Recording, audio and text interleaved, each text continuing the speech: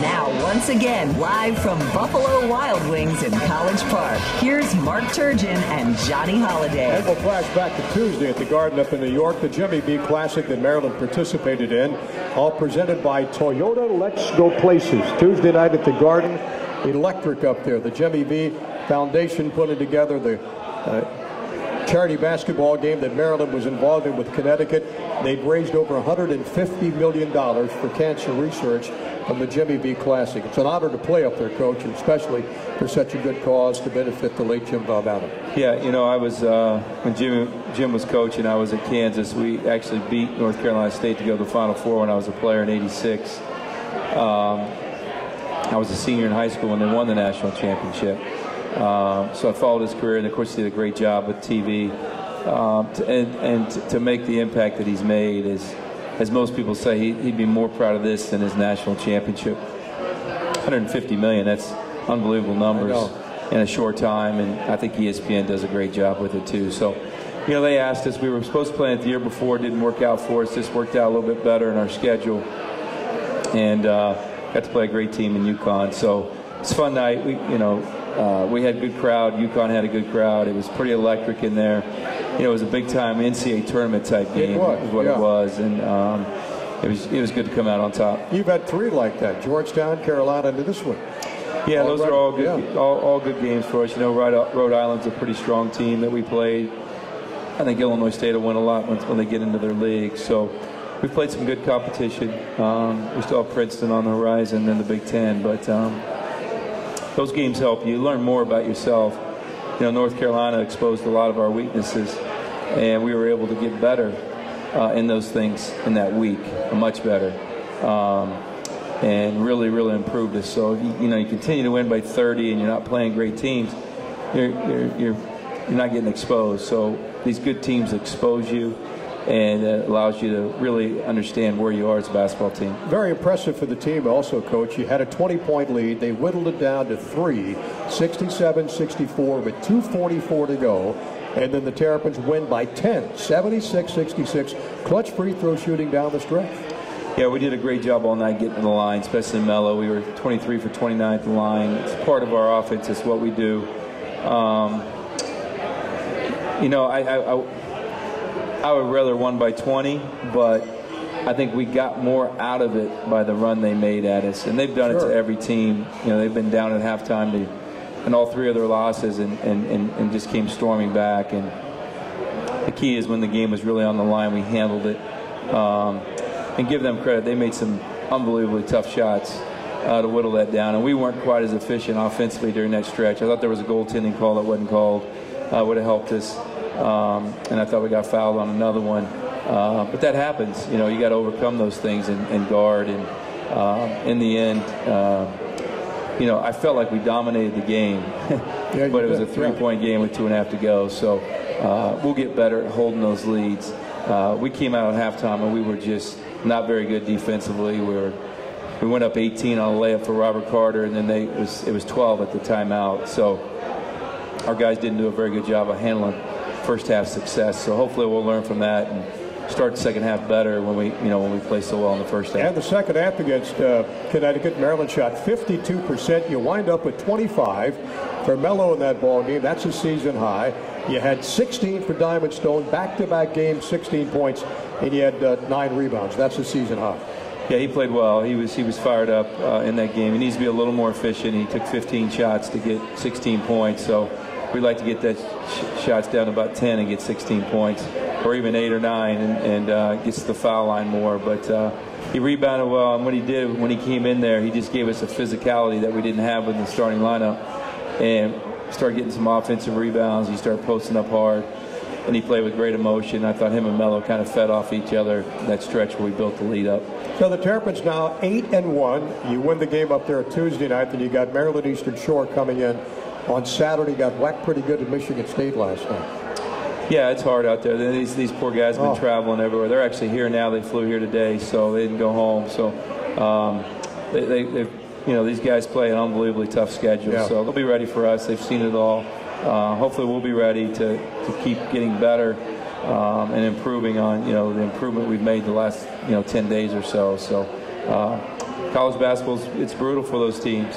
They get a lot of money in their pocket, but uh, they have a really really tough travel schedule, and uh, and uh, a couple good paydays for them. Um, and you know our guys will be fired up and ready to go. We'll talk a little bit later on about Maryland Eastern Shore losing last night by 43 at number one Michigan State, 78 to 35. When we come back, our special guest tonight, Ivan Bender. We'll talk about his rise up the basketball charts, coming to America from Bosnia.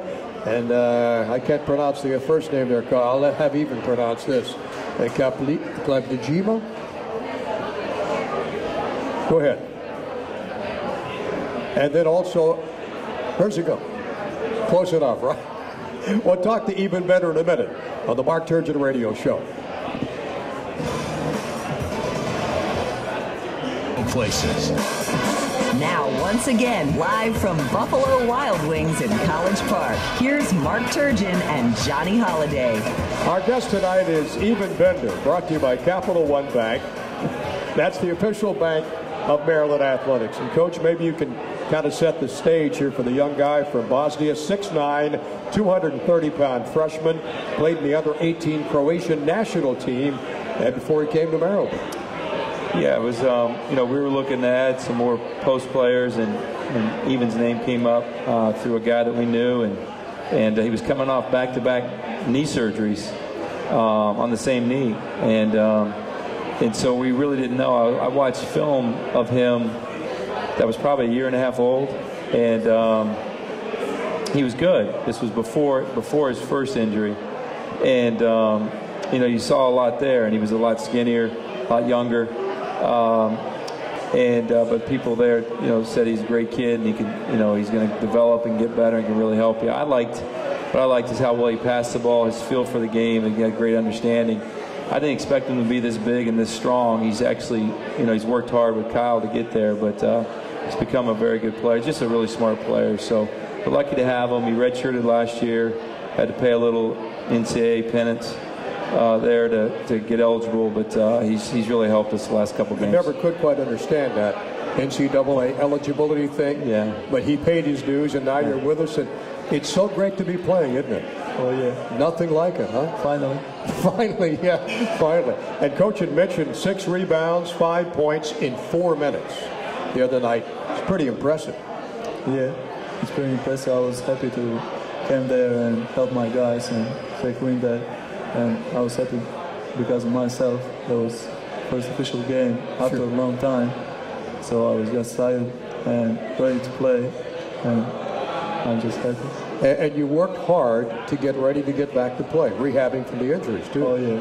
Uh, so two years back to back, as wow. coach says, ACL on same knee, and all summer with Coach Kyle and preseason and everything. We worked really hard and we prepare really well.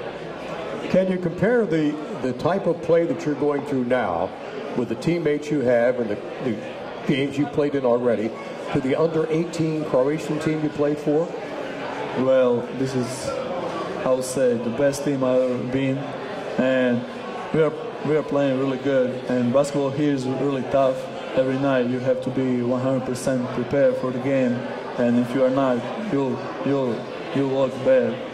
But in my under 18 team, you always know what team is good and what team is not good. So you be prepared for a good team, but you always said that bad team will beat them 30. But it's big difference here because yeah, every team play good. And as I said before, you have to be prepared and be focused every night. And coach has got to make him feel like a million bucks to know the confidence you have in him a lot of guys he could have brought into this program, but you're the guy. Yeah, and I, I, think I had to show him a lot of confidence. I put him in that game the other night. Yeah. Um, you know, he's really practiced well, and uh, you know, Ivan does whatever I ask him to do, whether it's a scout team or, or uh, the scout team and our shell drill.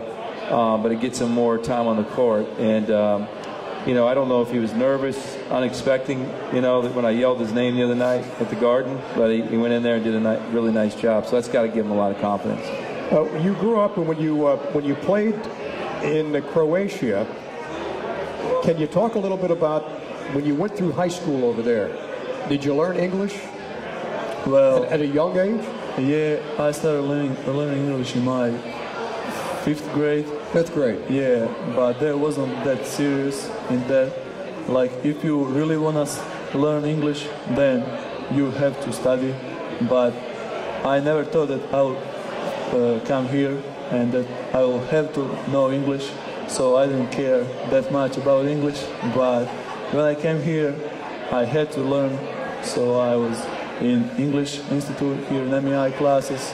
So I, I took that serious and I think I improved my English since I came here. Uh, there's nothing to apologize. Your English is great, believe. it. And you've got 13 English teachers that can help you on this basketball team. Those aren't the best teachers.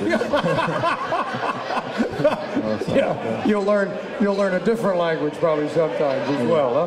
What's the what's been the most interesting thing that you've gone through day by day in practice, going up against Diamond, going up against uh, Damonte Dodd, or trying to stop Melo from driving down the lane? Most interesting thing that is being that I have to be prepared every day, every practice.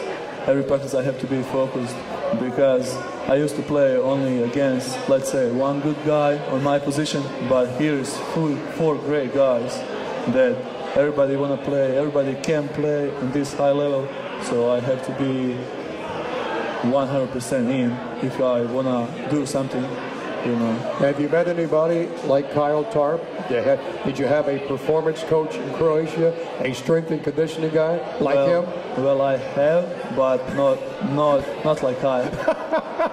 That's what I was looking for. Yes. He works you hard, but he knows he knows exactly how to get you to that success level. He is professional. I like him. I love him. When I came here, well, you didn't love him when you got yes, here. that's true. You were scared of him. That's true. Uh, but now uh, I realized after a long time that he really helped me on everything, on my body, on my movement, or the way of uh, taking uh, care of practice and taking care of my body because it's big difference from the past and now. Sure. Yeah. What uh, what the what's the classroom work? Classroom, Yeah. I like. I mean, I don't like that much school, but I have to go there. I, I'm doing pretty well in classes. I'm taking four classes. One is online, th- three is on campus. Good for you. Yeah. And he's still in the MEI program, so he's got a really heavy load, and um, it's really difficult uh, on him and, and Checo. And Checo's in the mainstream now, and Ivan will be in the mainstream next semester. So um, he's done a great job, and he's being humble. He's a very good student, and um, I don't I don't lay in bed at night wondering whether he's doing his homework or not, because I know he is. So, um, and and whether he's making good decisions off the court, because I know he is. So. Him and Checo have been great additions to our team, great guys and, and great teammates.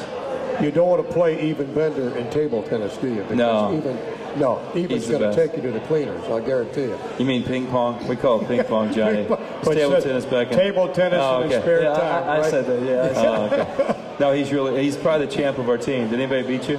No. Yeah, Not he's yet. the champ. So we have the team over to our house. We got a table tennis uh, in in my house, and everybody runs from Ivan when he grabs the paddle. So I think you brought your own paddle one time, didn't you? No. I, doesn't Jamal matter. did that. pedal Yeah, Jamal did. Yeah. Now your folks are still over there in, in Bosnia. Yes. Yes. Yes. Do they have it? Will they have a chance to come over and see you play here? Well, not this year, probably next year. My brother, uh, my family been in my brother's place in Israel, Okay. so probably next year. Tell me about your brother. You brag about your brother a little bit. My brother is two years younger than I am. He's 18, and he signed professional contract last summer for Maccabi Tel Aviv in Israel, and he's doing really well. And he's 18 and he's he's 7'1". So he- Wow. yeah, he's pretty tall. So I don't know how long the contract is, but he will be a top five pick in the NBA draft, probably top Yeah, for the next year. for next year. Yeah, he's a special player. So, Boy, that's terrific. so is Ivan. Yeah, that's terrific. Well, it's great to have you at the university. Terrific to see you playing. We wish you nothing but the best, and the best is yet to come with Ivan Bender. Yep, thanks. Thank you thanks, so Steven. much. Okay, bud. Thank Good you. job, We'll take a break and be back in a minute on the Mark Turgeon Radio Show from Buffalo Wild Wings in College Park.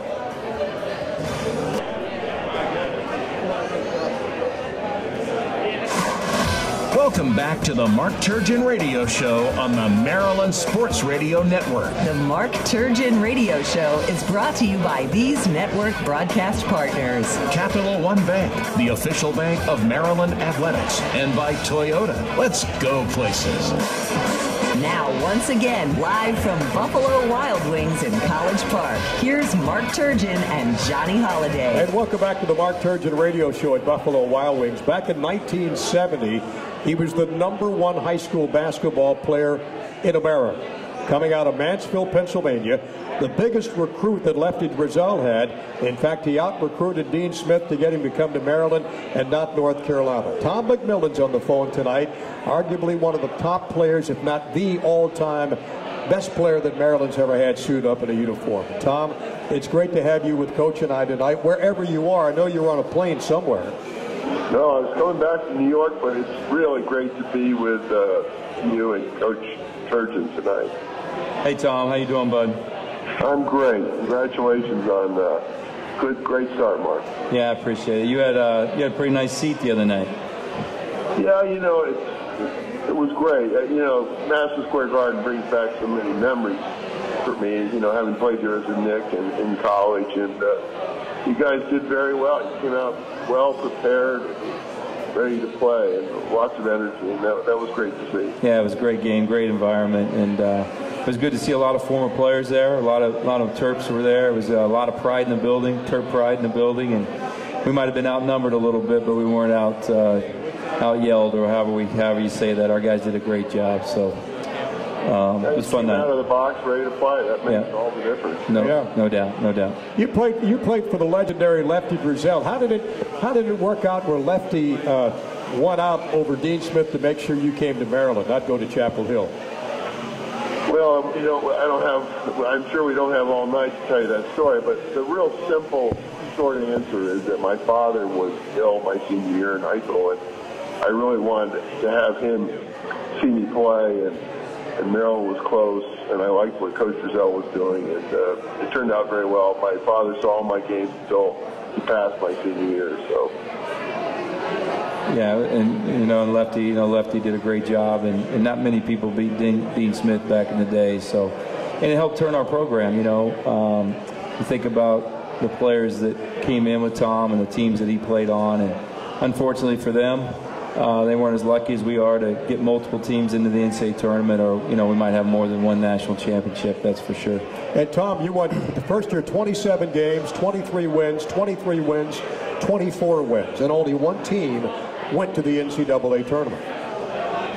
Well, it's a different game. You know, the rules change. Uh, we played less games, um, but you know, it's still college basketball. It was exciting, it was a triple overtime game against North Carolina State. It's kind of regarded as one of the great games in college sports, and uh, you know, it's really what the essence of college sports is about. It's exciting. People love it. Uh, and, uh, you know, it was a great experience for me. Maryland was a, a great school that turned out to be terrific for me, both academically and athletically. Yeah, go ahead.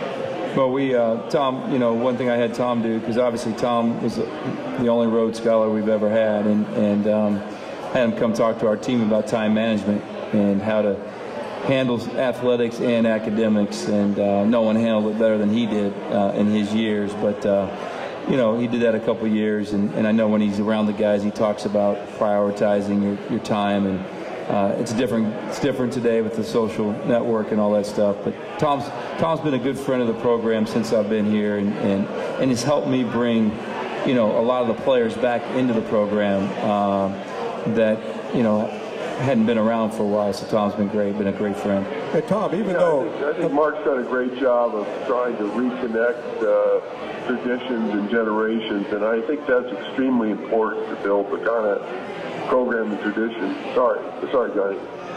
I was just going to say, uh, even though you had such tremendous years with Lenny Elmore, John Lucas, and Jim O'Brien, and those guys, and to this very day, you still hold the career scoring average for one season, in the, for one career, 20 points a game back in the 70s. If you were playing now, you'd still, you'd probably average more than that now. Well, we didn't have the three-point play, which uh, three-point shot, sorry, that really, I think, changed college basketball. I would love to have it because it's a lot easier than the three in the NBA. And, uh, you know, with the kind of guard like John Lucas, I mean, he drove in and popped it back out. It was it was terrific. And uh, so I, I'm sorry I didn't have a chance to play with that, that uh, you know, the, that, that three-point play. So. Hey, Tom, tell, tell everybody a little bit about what you're doing now, this new venture you took on in charge of all the athletic directors and what your mission is and what a great responsibility you have. Hey, I just took over the CEO and president of what's called Division 1A, uh, Athletic Directors Association. It's made up of all the ADs of 129 of the top college athletic programs in the country. And there are a lot of challenges in college sports, as you know. Uh, and whether it's litigation or trying to get reasonable legislation with the NCAA, sometimes issues in Congress come up, concussions, uh, all the, you know, all the problems and challenges. So uh, Kevin Anderson approached me about it. I thought it was interesting. They, uh, they were based in Dallas. I said, you know, I wouldn't be interested in Dallas, but they moved it to Washington, I would have I would take a look, and and they actually agreed to do that. And so I've been on this for two months, and it's uh, it's been a lot of fun. It's it's a great time. I mean, there's such an opportunity in college sports. It's gonna there's going to be a lot of issues that come up over the next couple of years that are going to require leadership and pulling together the ADs who really run these programs. I mean, we represent $4 billion of athletic programs across the country, and it's that's monumental, and that's that's a very, very big big chunk of uh, money, and also it's the importance of these programs far out, out far outweigh their revenue. So it's it's a it's a fun challenge. Now, before we let you go, maybe you can give us your observations. What have you what have you seen so far from this basketball team that Coach Turgeon has that really impresses you so far? Well, I, I, in the beginning, when they started out, I've seen most of the games, either on TV or in person. I was a little concerned, but because I knew that you're putting a whole new group of guys together, that takes time to build chemistry. But what I've seen is chemistry build, and you've got three legitimate great players, you know, Melo and Sulaimon and, and Robert Carter. I mean, they're very, very talented guys. And, the key is you got to make the sum greater than the parts, and I be, I'm beginning to see that happening. And I think that's that's what coaching and teams are all about. I mean, you're not going to go very far as an all-star team. Working together and playing together, you'll go a long way. And I, I, I'm beginning to see that that manifest, and it's really very exciting. Yeah, and I agree, and he's exactly right. And it's it's taken us some time. We weren't together this summer, and you know, it, showed. We, we've done it. You know, we've we've gotten. I wouldn't say lucky, but we've got it out a couple wins, and uh, but we continue to grow, and it's really fun for me right now. Uh, practice is fun. You know, we lost the North Carolina game, but the guy showed me something, and since that game, we've really uh, become a better basketball team. So it's fun. And Tom's Tom's right on. Tom, thank you so much. I know you're very busy. We really appreciate you joining us tonight and taking time to share some of your memories. I really appreciate it. Always a pleasure. Good luck tomorrow night. I'll be watching. All right, All right. thanks, Tom. Thanks so much, Tom. The great Tom McMillan, one of the all-time greats at the University of Maryland, 1971 to 1974, averaged 20 points a game, 79% at the line, shot 55% from the floor with 1,807 points, 859 rebounds, an All-American, first-round pick by the Buffalo Braves in the NBA. We've got some emails for Coach Turgeon when we come back on the Mark Turgeon radio show from Buffalo Wild Wings in College Park. Five seconds. Welcome back to the Mark Turgeon Radio Show on the Maryland Sports Radio Network. The Mark Turgeon Radio Show is brought to you by these network broadcast partners. Capital One Bank, the official bank of Maryland Athletics, and by Toyota. Let's go places. Now, once again, live from Buffalo Wild Wings in College Park, here's Mark Turgeon and Johnny Holiday. And as always, one of the highlights of our show here, there's a lot of highlights, but this is one of That's to check the inbox to get the fan mails, the emails for Coach Turgeon. You can have one as well. Go to umterps.com, click on the Ask Coach Turgeon button brought to you by University of Maryland Medical Center. One from Ken Davis. in Baltimore. What was the experience like for the guys to play in Madison Square Garden Tuesday night, one of the most famous arenas in the world? Well, it was a great experience because we won the game and we played well. Now, uh, we didn't make a big deal of it. We didn't talk about it a lot. We, you know, we, we talked about our opponent, talked about the atmosphere and all that. I think our guys handled it really well. Um, it was a big time electric, you know, energy in the building, and I, I thought we just handled it well. I think we're maturing uh, with that, and I think afterwards everybody was really proud. And a lot of guys got in the game, and and now they can always say they played a game in Madison Square Garden, which is Right. pretty cool. One from Corey Zeller, coach in Bethesda. If anybody, who do you think stepped up the most during Tuesday's win over UConn? Well, we had a lot of guys step up. I, I, I, I can go across the board. Obviously, Diamond came in, gave us great minutes. Melo was Melo. He did terrific things.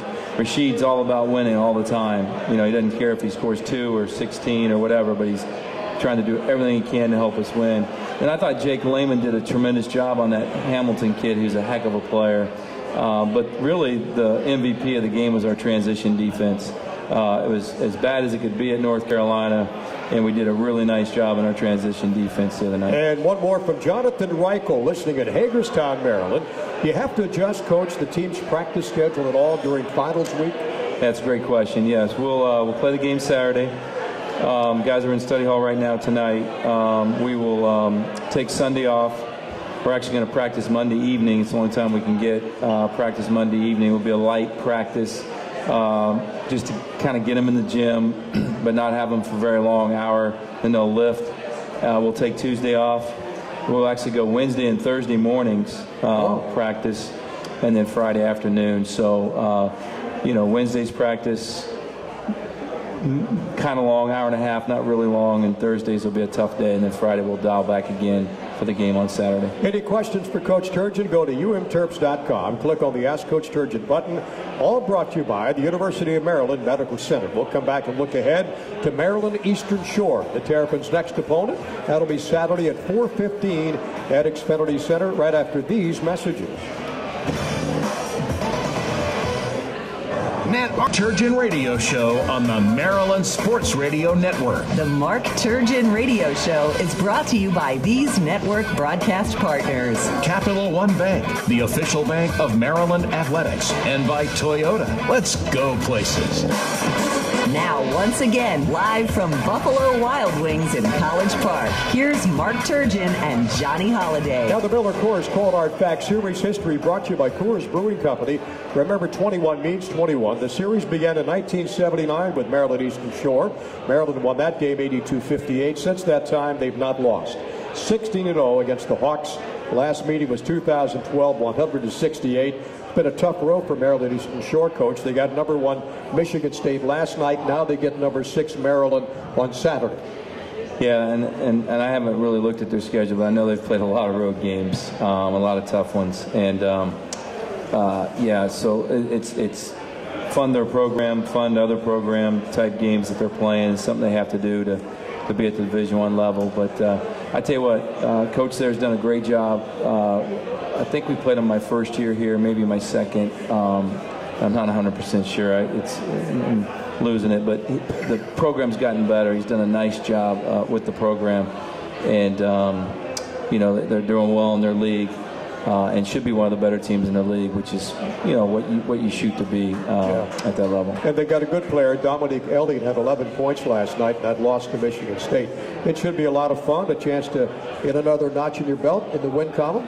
Hope so, but you know we're looking forward to it. And that big, big kid is a heck of a player. It'll be a tough challenge for us. All right, Coach, as always, thanks so Thanks, much. Johnny. Great to see you again, and thanks to all the folks for coming out tonight and listening all around the state of Maryland. Tom Marquino has been alongside our technical director, Tish Wright, up in Total Control up in Baltimore. We hope you'll join me along with Chris Knoche, Walt Williams at 345 Saturday, Maryland against Maryland Eastern Shore. Good night.